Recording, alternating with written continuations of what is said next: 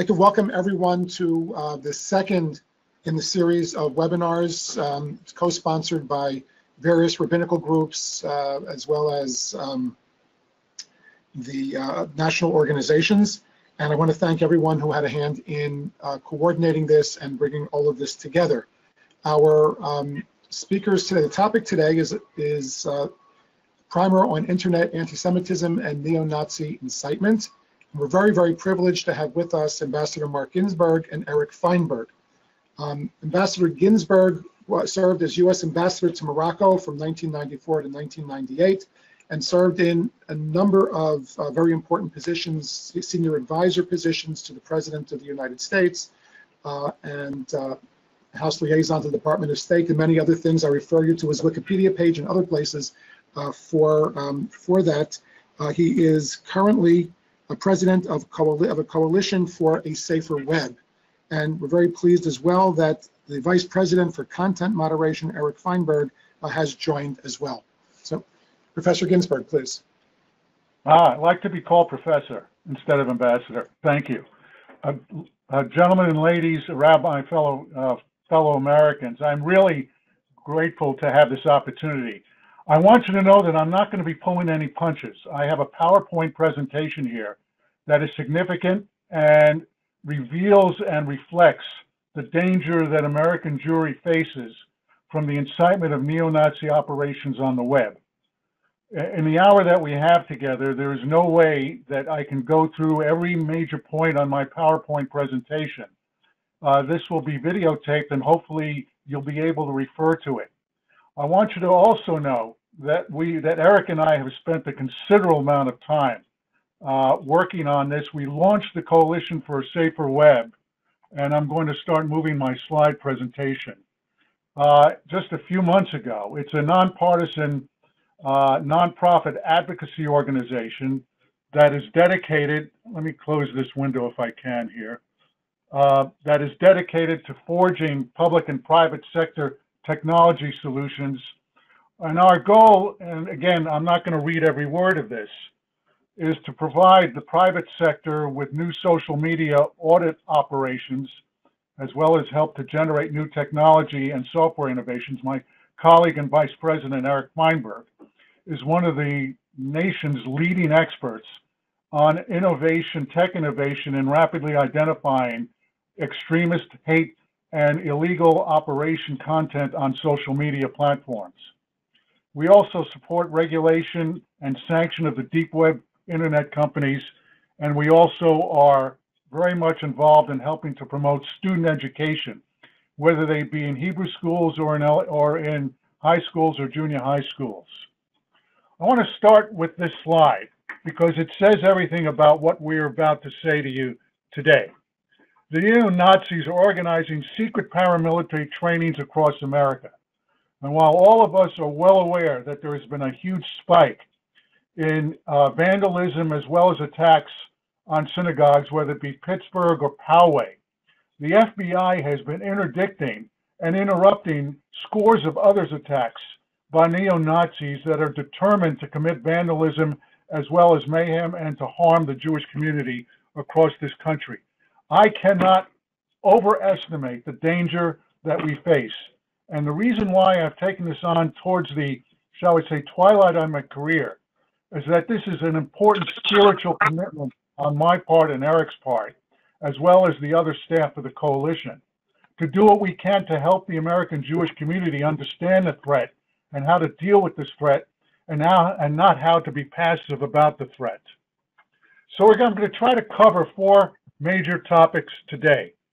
First is the radicalization conveyor belt of the mainstream social media platforms such as Facebook, Twitter, YouTube, all the ones that you, your families, and your congregations are well aware of. Number two is the dangers lurking on the dark web, which I'll explain, and the internet infrastructure support firms that provide the technological support that permit these neo-Nazi operations to operate unhindered. Three, to help you understand what is not being done with respect to regulation, legislation in the private sector. And four, a call to action, what I think rabbis can do uh, to help to help uh, motivate and mobilize the Jewish community far more actively. So let me first turn to the complicit social media companies. And you may ask, uh, why aren't the Zuckerbergs of the world, Facebook, YouTube, and others, doing more to eliminate online uh, online anti-Semitism? Well, uh, they'll argue with you that there's significant volume challenges, huge amounts of data and content that are being uh, downloaded every day uh, onto their platforms, and that's accurate. Secondly, uh, that there are variant reappearances. For example, when the Christchurch massacre or the uh, or the Pittsburgh massacre took place, uh, many of the neo-Nazi operations were able to rob uh, and steal uh, the videos that were uploaded of live streaming these attacks, and subsequently they were able to play around with the algorithms to make create variants that were reappearing. Uh, also, there's certainly no financial or legal incentive the way these corporations operate to rapidly uh, uh, mobilize technology to help, in effect, substantially reduce this neo-Nazi threat. They also refuse to integrate new technologies. Why? Because, uh, and now I'm going to get a little technical. Congress passed in, in 1996 a law called the Communications Decency Act. That Communications Decency Act has a section called 230, number 230. And number 230, in effect, grants content immunity for all of the major social media companies with respect to any content that is uploaded on their platform. So if there's neo-Nazi incitement, Mark Zuckerberg can stand in front of Congress as he has done and say, that's not our problem. We're not responsible for this. Section 230 absolves us of any content liability. And as a result, they also don't have an incentive to integrate new technologies. There's also those who argue that we have to protect free speech. Uh, the ACLU and other organizations have testified that Nazi propaganda is protected speech, even if it is incitement. And finally, there's no public or private accounting of deplatforming pledges. That is, when I use the word deplatforming, that is how many of these companies have pledged publicly uh, to your to your congregations, to the country at large, uh, that we're doing everything we can based on our terms of service uh, to deplatform this content. But there is absolutely no way to quantify or to publicly or in some sort of private capacity to audit whether or not they're achieving the objectives that they claim that they want to achieve. They argue in my next slide that artificial intelligence uh, is the answer. And uh, unfortunately, artificial intelligence is really being hyped. I'll give you an example, something that my colleague Eric can speak to.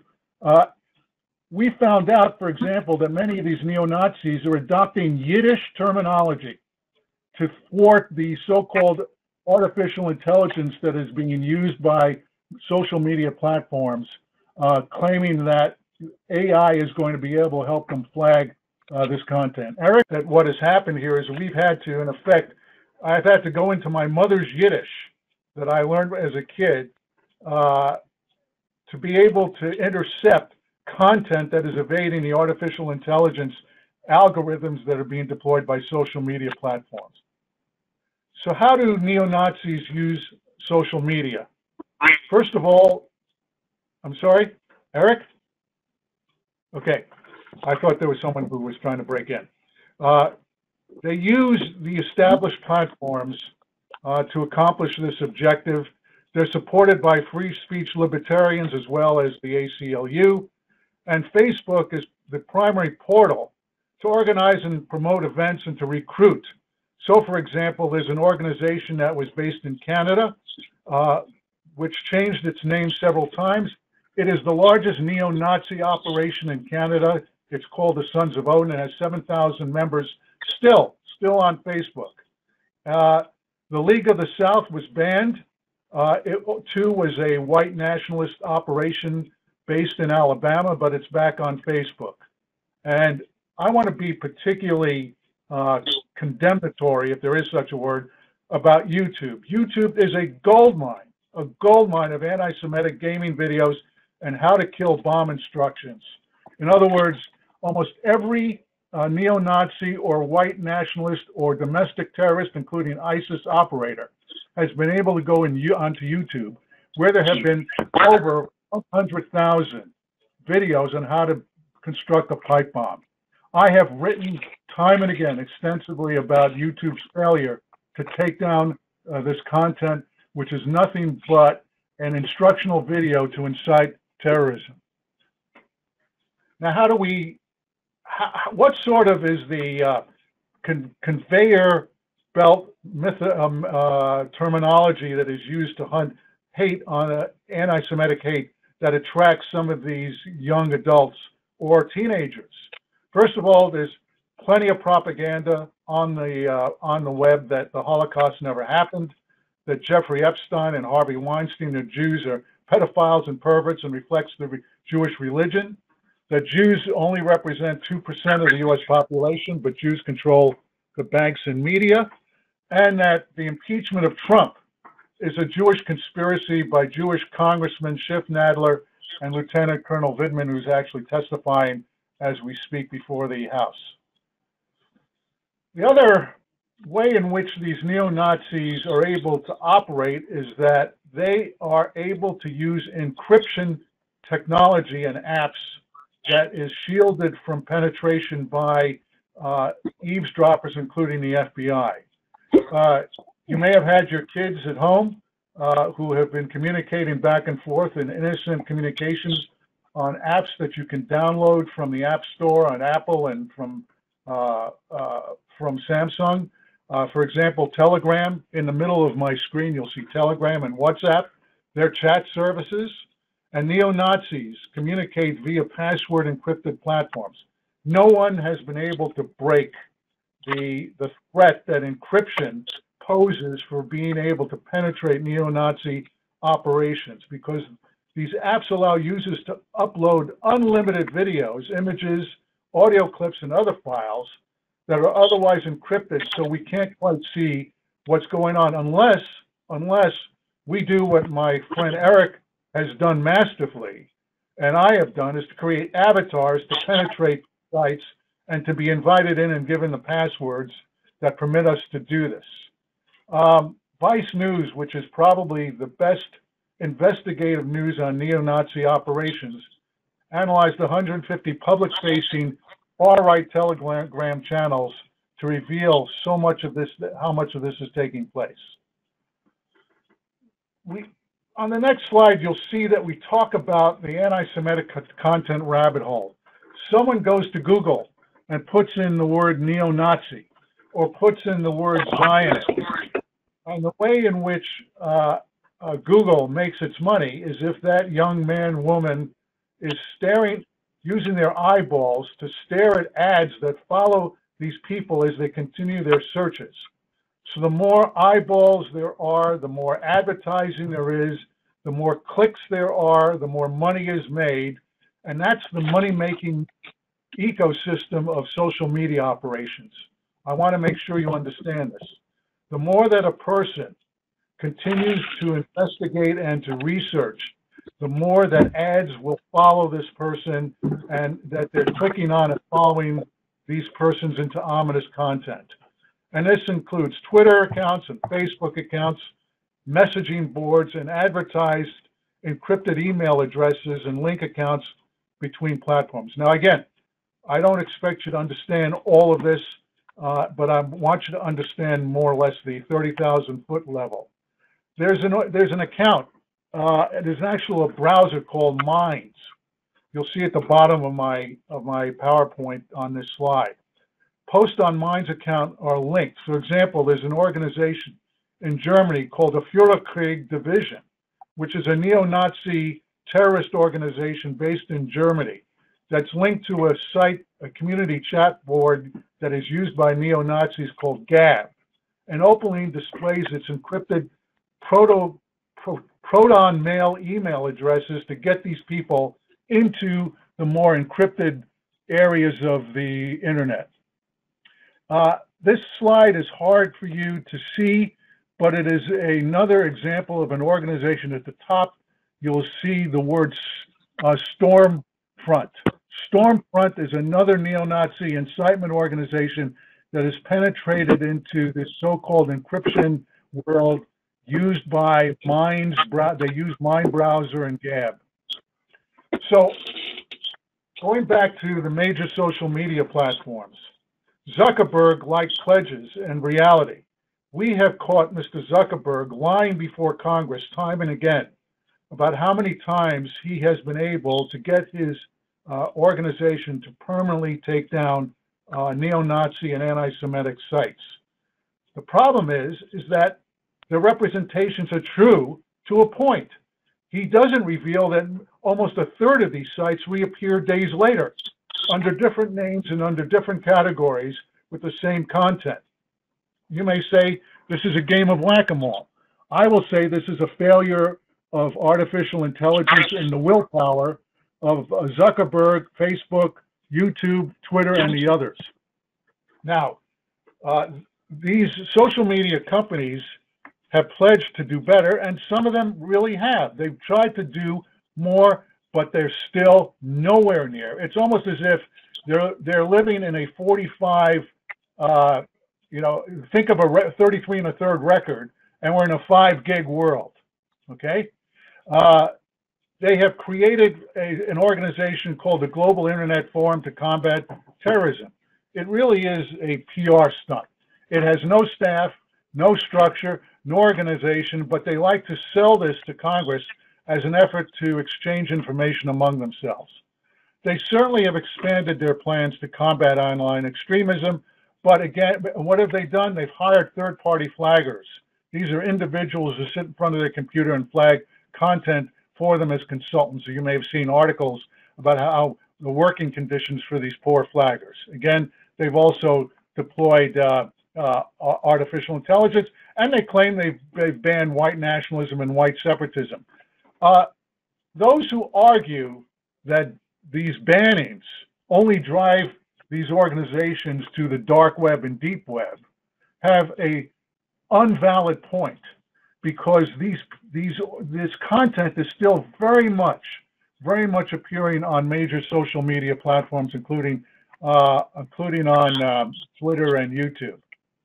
The reality is that there are variants of the Christchurch massacre up in other languages, which is an absolute misrepresentation by Zuckerberg that all of these variants of the Christchurch massacre are down. Secondly, there's no uniformity of terms of service or means of corroborating success, as I said earlier.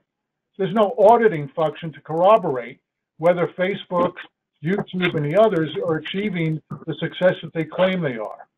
Um, Twitter, for example, is hosting accounts for an entity called the Base, which I'll spend a great deal of my time later on in this half hour.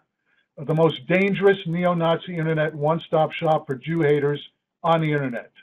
And on YouTube, there are episodes of Radio Werewolf, the Zionist organized governments, Goyim, Zog's Nightmare, all Yiddish deployed words to be able to escape what YouTube claims is its uh, dragnet to get this content down. And frankly, even when YouTube's management is told that this content is up there, they still do not take it down.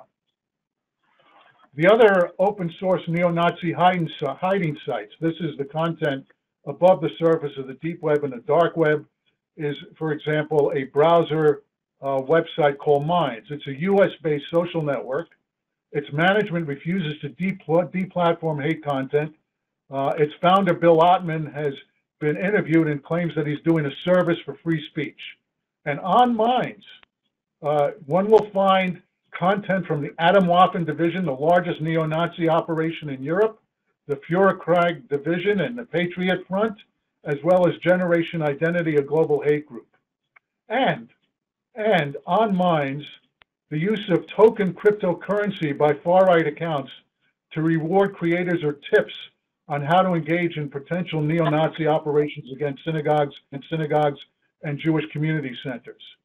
There are 550,000 views that earn 38 tokens featured a Jewish man being lynched. Okay? That's, and these tokens are used to exchange information and content. For example, uh, Eric had been the author of a major study uh, in the front page of the Washington Post a few months ago, how uh, neo-Nazi operations are using illegal steroid sales uh, to convince young people who are into bodybuilding and weightlifting and sports to go to their sites to buy steroids illegally, and they pick up this currency, which is how they fund their operations.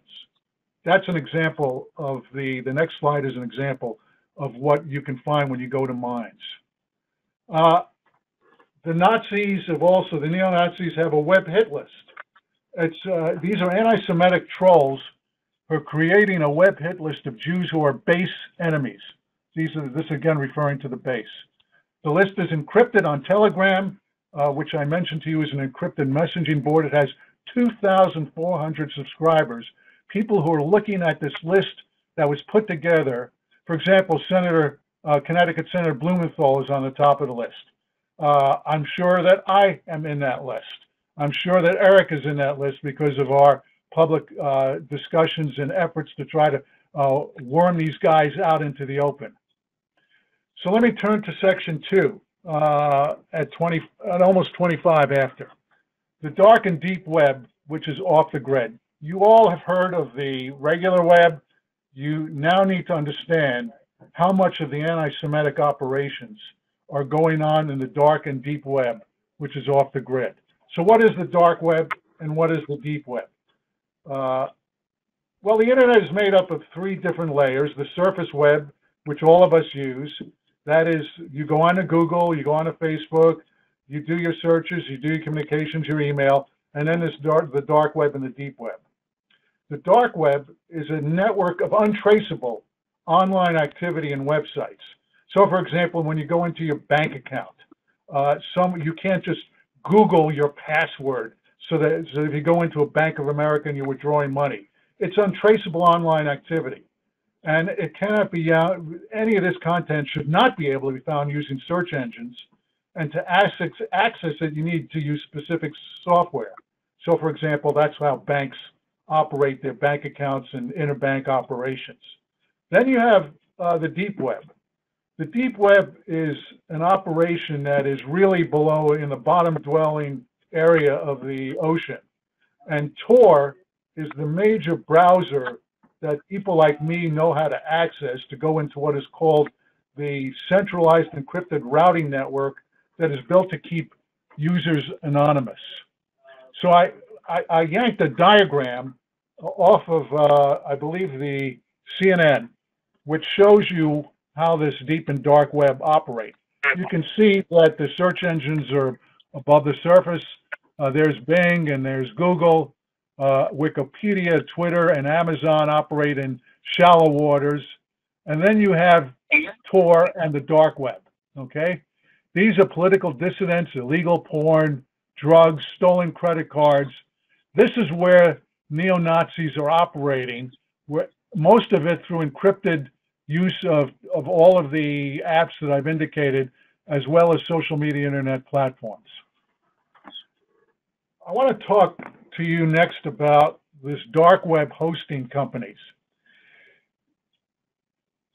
Facebook and Twitter and YouTube all have their own capacity to have their companies go out. You can go online, access their search engines, access their information, and they're able to operate. And then you have what we call community chat rooms and other neo-Nazi hiding sites in the dark web but they don't have the money uh, to be able to, to run their own browser and web internet infrastructure operations. And so there are plenty of companies around the world, including the United States, that provide hosting services for these neo-Nazi operations uh, and to be able to host their networks, and they provide sites that must that really need to be regulated. And this is one of the major concerns that I have. So much of what lone wolves and domestic terrorists are using are using are being able to access their information through these hosting companies. And without them, anti-Semitic chat rooms and communities would not be able to operate. And the names of these companies, I'm sure that most of you have never heard of. Bluehost and Cloudflare.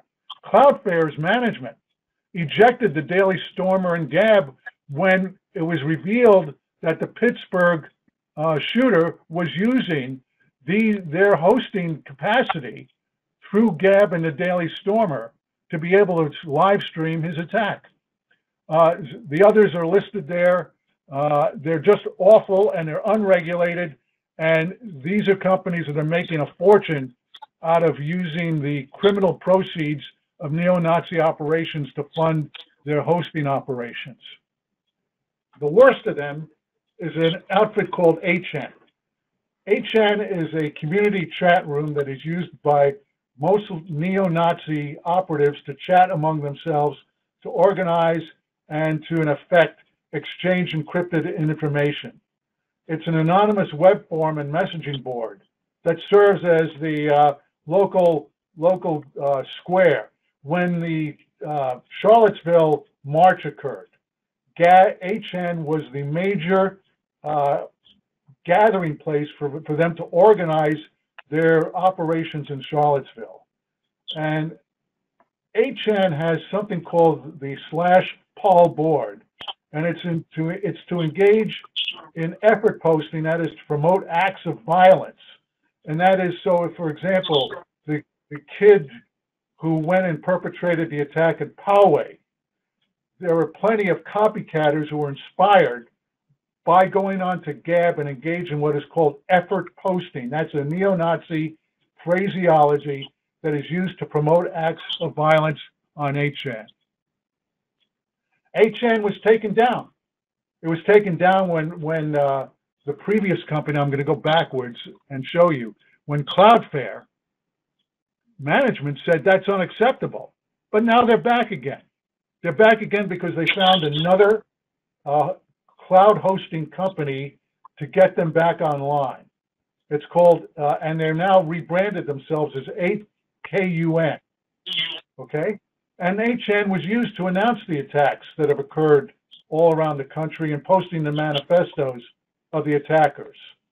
Uh, I find it unacceptable that the ACLU will appear before Congress and defend 8chan when it's nothing but a neo-Nazi incitement operation.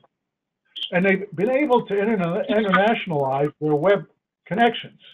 So, for example, this Krieg division is a splinter of the Atomwaffen division, just as vehement, just as determined to create a rate war in both Europe and the United States. And what we see in the coalition for a safer web, as we watch what they're doing, is they're borrowing extremist tactics, believe it or not, from ISIS to recruit, incite, inspire, and train lone wolves.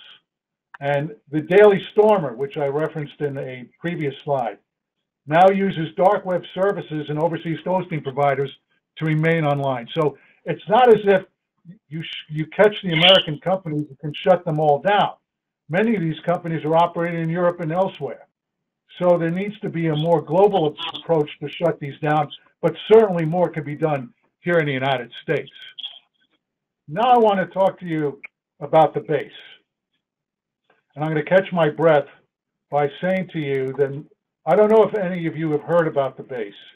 I can say to you objectively, it is the most dangerous operation targeting Jews in the United States in over a century. It is a, its members are coming from, from not only the United States, but Canada and Europe and Australia via Twitter, via Twitter as an incubator. Its goal is to unify all of the neo-Nazi cells and to form an anti-Semitic, anti-migrant attack command and control internet operation on the web. It is a rabid anti-Semitic, and it uses the, uh, the phrase that we use, it's an accelerationist group. Its goal is to start a race war as quickly as possible. It is a one-stop mall for terrorist training, meetups, incitement, counter surveillance, and, and bomb making.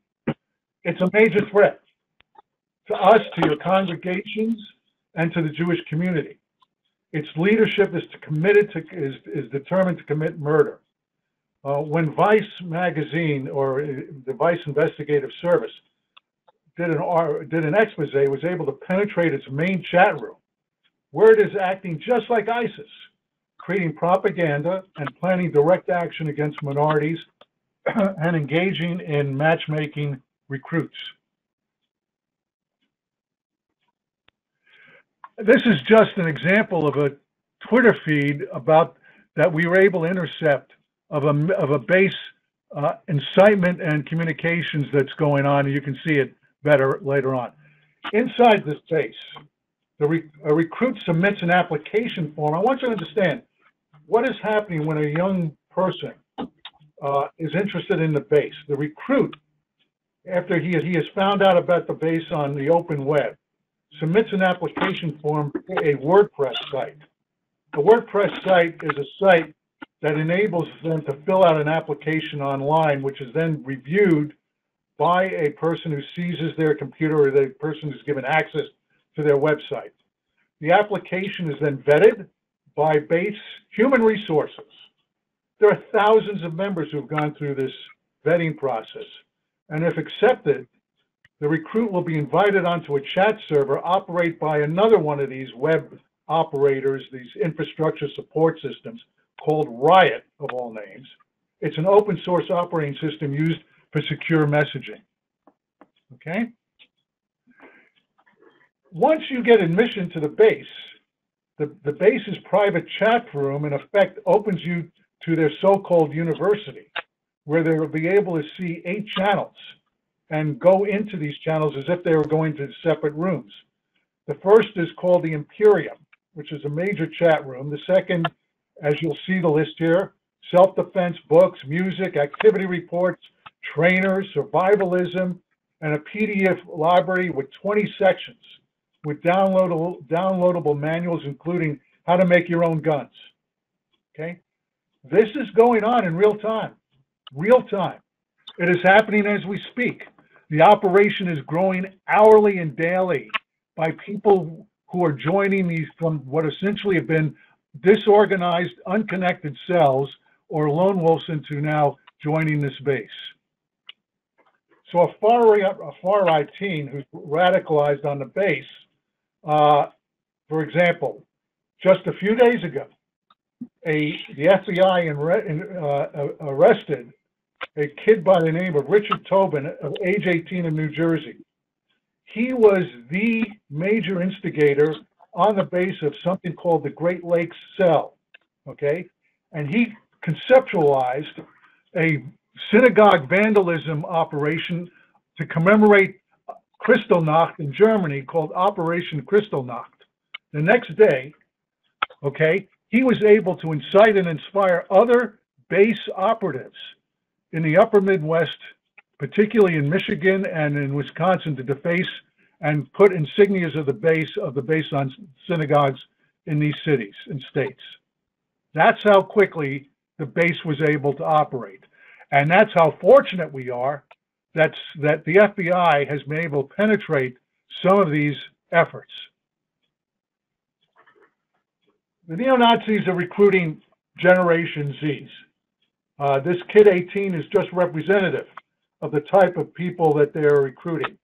They, they use uh, very ingenious ways to do this.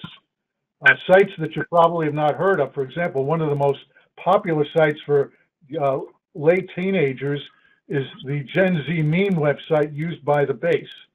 Something called iFunny, believe it or not, now has a propaganda video showing showing the base training in the U.S. It's a video game, and it also enables the sale of illicit drugs and steroids to fund neo-Nazi operations. We have talked and have reached out to the digital advertising ecosystem. That is the major corporate advertisers where we have been able to show them that many of their ads have been rabbit holed into these encrypted sites so that McDonald's ads, for example, are appearing on sites where there's illicit, illegal uh, sale of drugs and steroids occurring, much less other operations that are totally unacceptable. And I'll explain to you what they're trying to do, which is, gets me to the next uh, section, regulation, legislation, and the private sector. Uh, so I, want- I already gave you a brief explanation of Section 230, where there's a growing outcry in Congress, but so far, and I spent a lot of time here in Washington going to the Congress, there's been no real legislative success. Congress has so far refused to regulate these B2B tech firms such as cloud infrastructure providers that I can, told you are in effect the oxygen that gives these neo-Nazi operations the dark web capacity to operate. The challenge is posed by encryption as well as privacy laws. And the fact is, is that there was a lot of talk about passing a new te- domestic terrorism law. I'm less concerned about passing the domestic terrorism law as much as I am about forcing these uh, web infrastructure support companies out of business.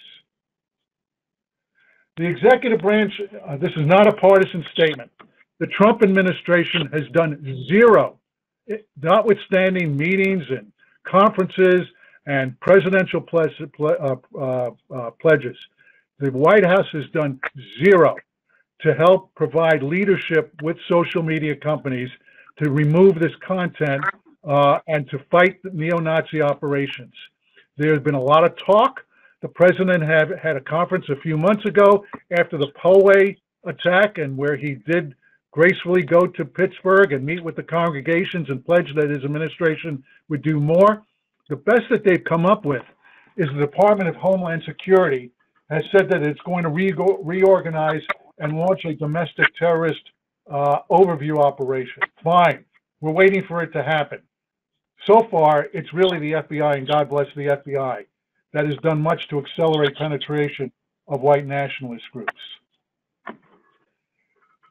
There are organizations that are doing a great job in at least identifying, but not necessarily advocating the type of solutions that we're calling for in the coalition.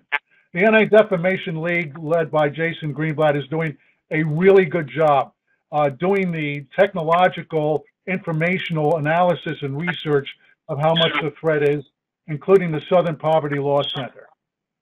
The digital advertising ecosystem that I referred to created something called the Global Alliance for Responsible Media, but that was months ago. They have so far been so disorganized in their efforts to interdict advertising that is uh, uh, coming across their platforms that it's hate inspired. Frankly, the reason is pretty simple. Social media companies need advertising, and the advertisers need the social media companies. They are very reluctant, even though they, they want to do something, very reluctant to push hard on these social media companies. It's going to take Jewish consumers to do more to convince these social these advertisers that this has got to be unacceptable.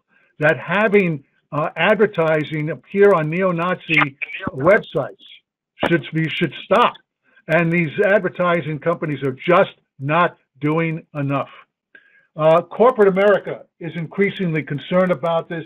For example, IBM and Pfizer are working with us at the very beginning of a of a trajectory to help uh, train and educate other companies and other communities around the country about what technology they can adopt to fight neo-Nazi operations, which is why we need to have a call to action to regulate the dark web service providers. That's what the private sector should be doing as well. Um, fortunately, Eric and I are working right now with IBM and Pfizer, but we're looking for other companies to work with as well. So, in the few minutes that I have, what can you do? Here are some calls to action that we recommend mobilizing your congregation around. I have to tell you, again, I say this as someone who cares deeply for the Jewish community uh, in this country. There is sufficient proactivity by the Jewish community on an organized basis. Too many people say, well, the ADL is doing it, the Southern Poverty Law Center is doing this, uh, the FBI is doing this. Ladies and gentlemen, we're just we're just another attack away from another massacre, another 10 massacres. Okay? We're not doing enough. We are not mobilized well.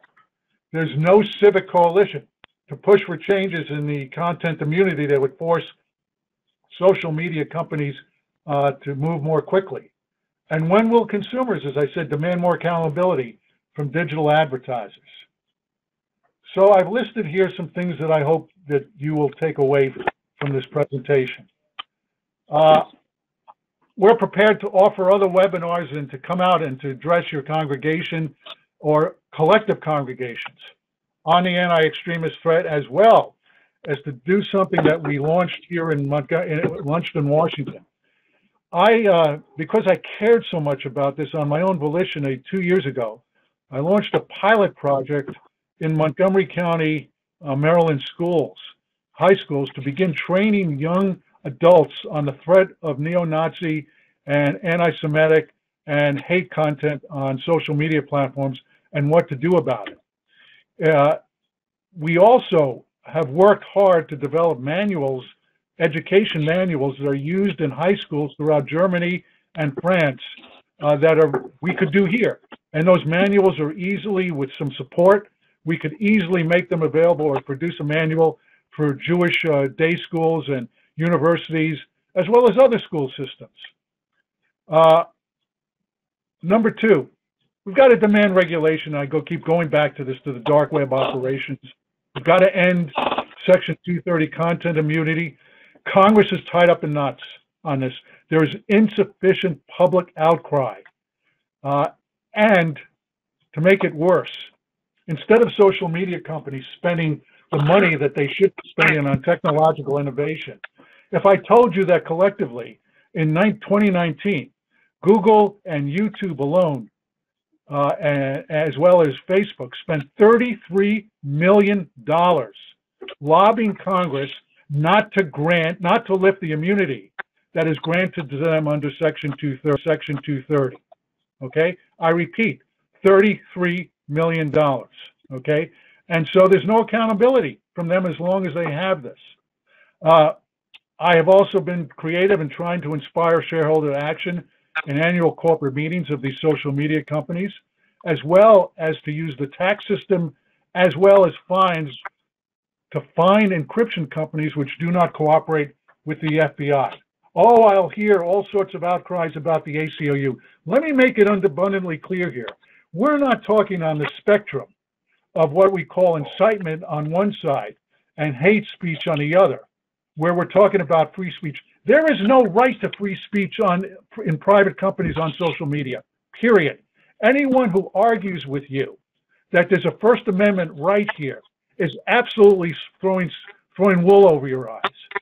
None of these companies and anyone who uses them have any right to grant free speech under the First Amendment, okay?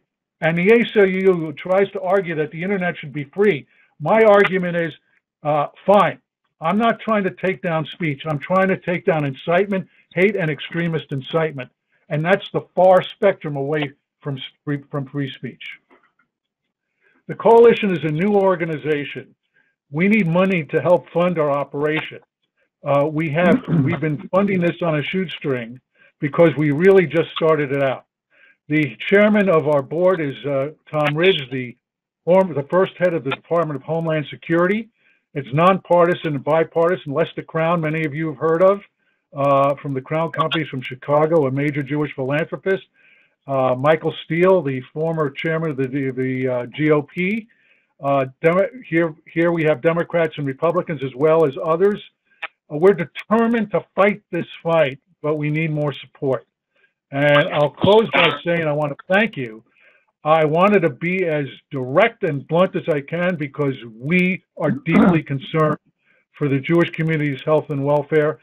We stand ready to make ourselves available to you and I want to thank the National Assembly of Rabbis for permitting me to make this presentation.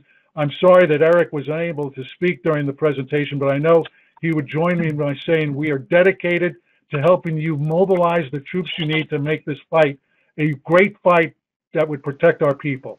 Thank you. Ambassador Ginsberg, thank you so very much. I'm sorry, just one second. Thank, thank you so very much for um, this very in, insightful and disturbing uh, presentation that you made to us. Uh, we've certainly learned a lot and um, we have our work cut out for ourselves. We have a couple of minutes left and if anybody has a question to pose, then um, you'll notice on the bottom of your screen, to the bottom right of your screen, there is a chat box And we'd be very happy to pose those questions to Ambassador Ginsberg if you'll type them, if you'll type them in on the bottom right of your screen. Um, We'll wait a moment to see if anybody has a question to pose. Ambassador Ginsberg, how did you personally get involved in this particular um, line of work? Uh, about uh, eight, eight, seven, eight years. Ago. Well, I first started a media production company, an Arabic media production company after 9/11, with under the aegis of Jo- President George H.W. Bush and Henry Kissinger, who wanted to find a way in which to rebut the support that Arabs were providing to Al Qaeda after 9/11. And I I don't see co-founded. any questions coming in, so I thank you all very much for calling in today and for participating with us, and we'll look forward to uh, being with everyone at our next, uh, at our next presentation. Thank you.